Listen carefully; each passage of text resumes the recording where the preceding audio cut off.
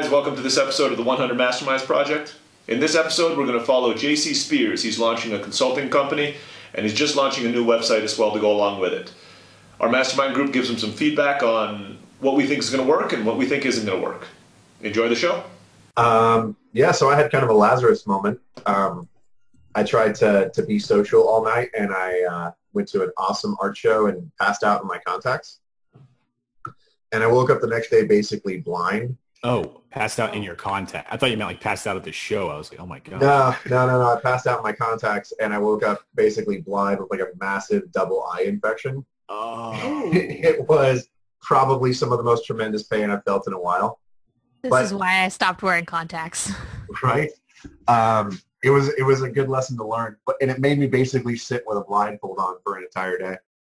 Oh. Um, and just something flipped my switch, and I don't know if I really have the right words for it, but something about just the the time of being around and listening and having all of these scenarios run through my head. I hit the next day after the antibiotics and started to clear my eyes up, and everything just started clicking. So I finished all the copy out on the website. We're ready to launch, I think, as of tomorrow because I have to record the, the front page video today. Um, and I'm going to be doing a, uh, I figured out what I want to do. Um, and so I'm going to do a two-phase launch within a couple of communities I'm a part of. Um, one is going to be a free week for LI members. Um, but the other one I'm going to do is I found uh, I found a group for Extra Life that I really like. So I'm going to offer matching funds up to a certain amount of money in coaching time for everybody who donates to this Extra Life page I oh wow. Oh, that's cool. Uh, um, and this is the one. This is why I was asking you, Tiffany. Oh, you want our extra life page? Yeah, I didn't have time to set one up for myself, so Oh shit. Okay. I guess we should make it look nicer then. meh. It's the Children's Miracle Network. I, I could. I don't- care how nice it looks. Um, But it's a maybe great we should add for like a real description instead of just like the one that they give us. right? Update Um, extra life page. I'm not sure I even know what you guys are talking about. um, extra extra life is an event that they it's a charity event they put on every year um, it supports the children's miracle network which is children's hospitals across the united states and uh, video game nerds play video games or board games for 24 hours straight it's like it's like you know if when you run a marathon and you like ask people to donate for every mile that you run they give you money Uh-huh. it's the same concept except paying us to play games It's nice. and not paying us, like donating to Donating. our cause Right. to play right. games. And so we pick a hospital that we give, like our donation goes to like this particular hospital of the Children's Miracle Network, and like, you know, and then people form like teams, just like you would again for like a marathon or anything else. Mhm. Like Um, the Relay for Life and stuff. Yeah. Yeah, except it's a whole bunch of nerds playing board games and video games and streaming themselves doing it on Twitch, Right. which is like a which is like a. I- Did YouTube buy Twitch, or did they Uh, almost? no, Amazon owns Twitch. Amazon. Okay, whoever owns Twitch, it's like a big. Bezos. Yeah, it's a it's like a big platform to stream. Like a lot of people, a lot of artists will use it. Like if they do digital art, they'll draw and stream themselves drawing Oh yeah. so that they can like chat with people while they're working and like grow their following that way. And One of my friends, um, who's a he designs like t-shirts and skateboards and stuff. Um, he does it like every Wednesday and Monday. He streams his drawing, and he's has like a huge following from doing that. And then other people just stream video games on their channel or whatever. So Extra Life is like a whole day of this from a whole bunch of people all over the world. Yep. It, have and it branches from offline to online. But since we have the first two tiers done, I uh, I- I'm going to offer hundred dollars of matching funds for tier one. I'm going to offer up to five hundred dollars of matching funds for tier two. Um, and uh, so um, it's an easy way to for people to write off their first coaching experience. Um, and it makes me really happy to be able to get involved. Um, Cool. and it gives me time Thank to track you. down Jason and Travis um, and work with them actually developing uh, a partnership where I can donate sessions to LI because I haven't had the ability to make that happen yet. So it's sort of like it's also gap filling for me hmm um, while I start to work through these. Um, Do you um when are you launching? um, I'm actually probably going to launch the the charity uh, launch tomorrow. Okay. So I want to get the front page video done on my website. Um, and uh, yeah, and then I'm going to start kind of just slowly start to reach out. I have uh, a content plan. I've been working. I met with uh, uh, uh, Graham. No, Rob. Rob Granholm. Oh, the WordPress guy. Yeah, and we chatted for a while because he specializes in coaches, and um, we're looking at an opportunity where he may just do some consulting work as we move forward in some of the more high-end technical stuff. Um, just because it's a, a a better voice in my head um, than my own. Even though he's like, you're way technically advanced from my average client base. I'm like, I don't doubt that at all. Um, but as that doesn't mean I don't need someone who's smarter than me. Um, and uh, then lastly, I got contacted by the by the CEO of Founders Live, um, which is a uh, a startup, um, sort of a startup publicity event company.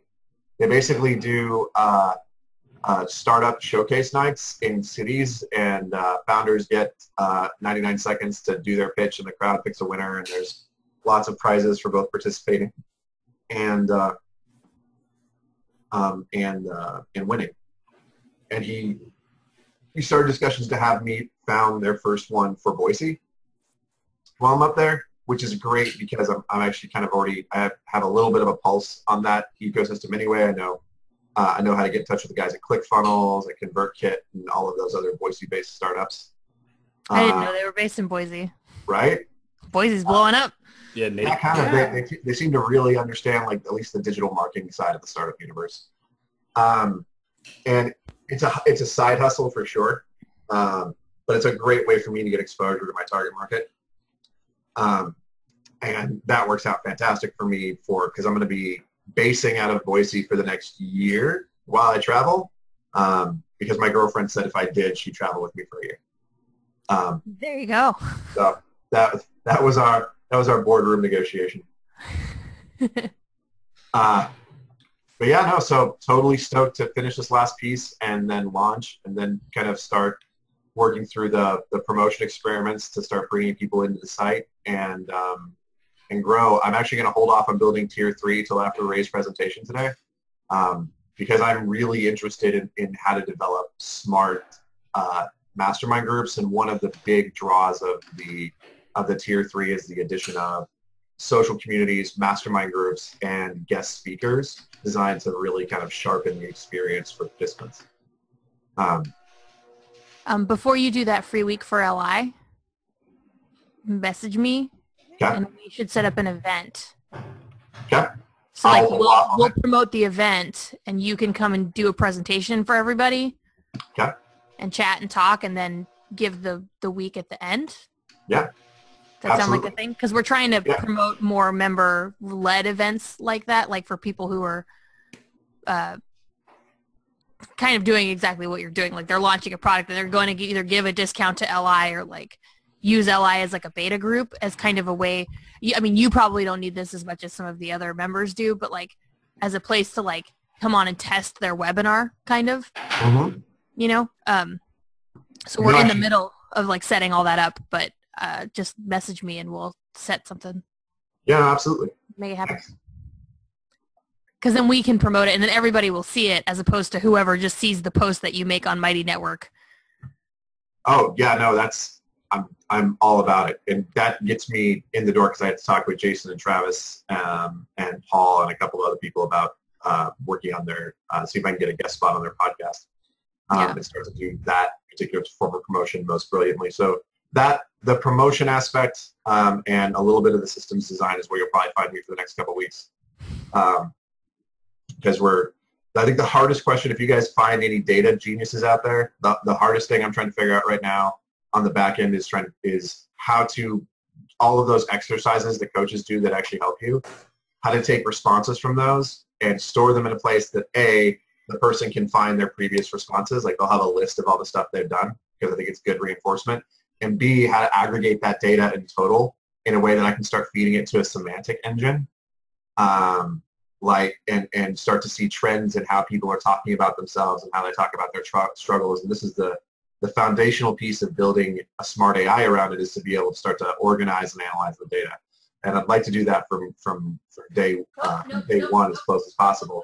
But I'm not a data scientist, so I'm still trying to kind of figure Yeah, that out. tough.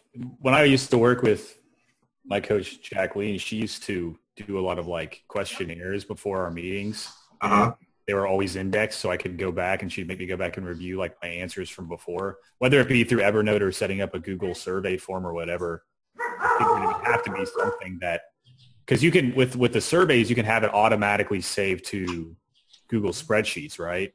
Right. create a s some sort of system like that that would go ahead and index it to a CSV, but it's definitely not. You know, you still have to take the human time to go in there and ana- analyze. I Can use feed Survey some of- Monkey? Have you tried using SurveyMonkey for something like that? They at least get they'll get all the information with the history of it, everything there, um, and I'm sure you can ex- export it from there to CSVs. I might double check that. Uh, as long as it can integrate into the site, because I'm probably going to, once we start, um, it looks like having it as a member site with, um, with basically a dashboard that shows them all their history is sort of the way I'm leaning right now. Um, and I want to keep it, just sort of like the payment process, I would really prefer to keep it on site. So it kind of depends on how well SurveyMonkey integrates. You should even with Google, like you could even do Google Forms individually that would just save to a spreadsheet that could be hosted live on a site too. That people That's true. That's a little bit more manual because I have to, I, and I'm hoping that some somewhere between Gravity Forms or yeah, I like uh, Gravity Forms. or or or SurveyMonkey or Thrive quizzes or any of that jazz, that one of them will be able to link to the membership site so that their UID as a member can link to their dashboard and any forms that contain their UID get added to their dashboard. Like ideally that's how it should work. If I have to do it manually for the, the first 50 Yeah. people, so be it. I don't um, think it would take uh, even. I mean, I think a mediocre developer could figure that out pretty quickly. That's what I was about to say. Having a form that saves data and then showing it on the screen, literally, you could get somebody in the Philippines to do it for 100 bucks. Um, that's super, super easy programming. Yeah, it, it's more.